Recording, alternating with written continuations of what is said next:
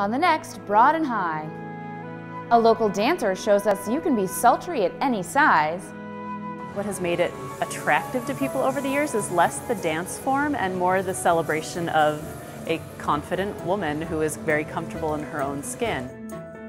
And we'll check out some seldom seen paintings by the late British statesman Sir Winston Churchill. Thursday night at 8 on WOSU.